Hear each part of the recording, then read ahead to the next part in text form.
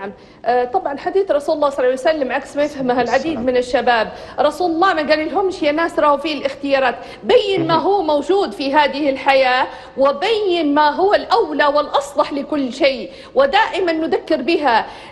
لماذا قرن إنه أو ما اللي يجي في النفس إن صاحبة الدين معناها حاجة هيك متغلفة متسربلة بالسواد وقبيحة وشينة. لا والله ممكن قد يجتمع فيها كما هي بنت آه، آه، س- سعيد بن المسيب أو غيرها من هال- هالنماذج الطيبة. لا تربت صاحبة الدين لأن هناك فرق. كما أسلفنا من يريد تأسيس بيت للزوجية من يريد إنجاب الذرية الصالحة. وهناك فرق من يبحث عن شريك تجاري اللي يبحث عليها وهي تشتغل أو اللي يبحث عليها بمواصفات الجمال الغير عقلاني الغير موضوعي. نعم. الله عز وجل بين لنا أن الإنسان حتى إذا بلغ أربعين سنة قال ربي أوزعني أن أشكر نعمتك التي أنعمت علي وعلى والدي وأصلح لي في ذريتي. إذا هنا في عمر الأربعين الإنسان من المفترض أو من الطبيعي ومن الفطري أنه يكون قد تزوج وأنجب من الذرية. نحن الآن في بلاد أصبح الشاب في الأربعين